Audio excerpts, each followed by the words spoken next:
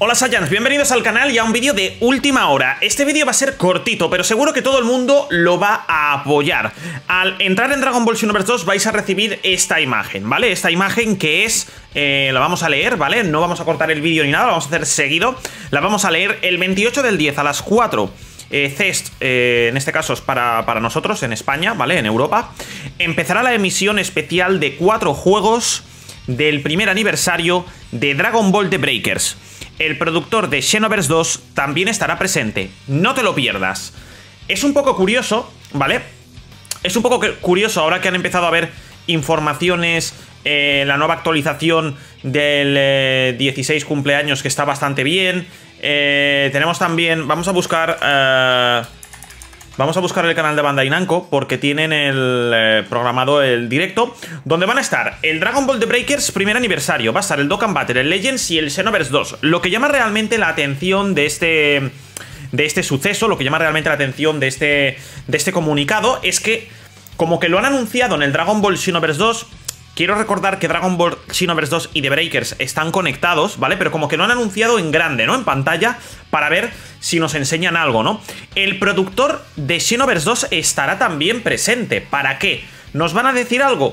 Hombre, pues yo creo, sinceramente, que podríamos ver alguna noticia relacionada con un nuevo DLC, con algo que nos puedan enseñar de Dragon Ball Xenoverse 2, no lo descartaría. No descartaría que dijesen, aunque no muestren, enseñen alguna información. Esto es algo que tenía que comentar en el canal de la forma más rápida posible porque a muchos de vosotros os están saliendo estos mensajes de empezará la emisión especial de cuatro juegos del primer aniversario de Dragon Ball The Breakers. Ya sabéis que en Dragon Ball The Breakers se, se, va a lanzar a Gogeta, a Broly, varios personajes. No hemos jugado a este juego porque la verdad es que no me han funcionado nunca los servidores.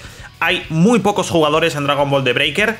Ayer me pasaron un tweet en el cual en Steam habían solo 300 jugadores. Es muy poco, muy, muy, muy poco.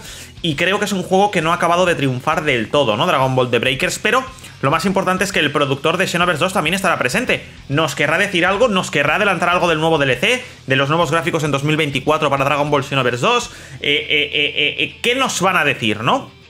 Pues yo no podré cubrir el evento por desgracia, pero cualquier cosa en el canal seguro que la informaremos. Este vídeo es cortito, pero para cualquier información, cualquier noticia de Dragon Ball, atentos, activad la campanita, suscribiros, seguidme en redes sociales, que es importante, sobre todo Twitter, porque le estamos dando mucha caña a Instagram, y canal secundario en la descripción. Estamos jugando al Spider-Man 2 y nos lo estamos pasando en grande con el Spider-Man 2. Espero que os haya gustado el vídeo, gente, que le deis al botón de like, os suscribáis, activáis la campanita y estaremos aquí para informaros de más cosas. Gracias y hasta la próxima. Chao, chao todavía no nos sigues en el canal secundario, pues es tu oportunidad, compañero, porque vas a disfrutar de un canal con un montón de variedad en videojuegos. God of War, The Witcher, Hogwarts Legacy, Harry Potter, FIFA, de todo. Todos los videojuegos del mundo gaming, o casi todos, los vamos a probar en el canal secundario. Si todavía no te has suscrito, tienes el enlace en la descripción. Corre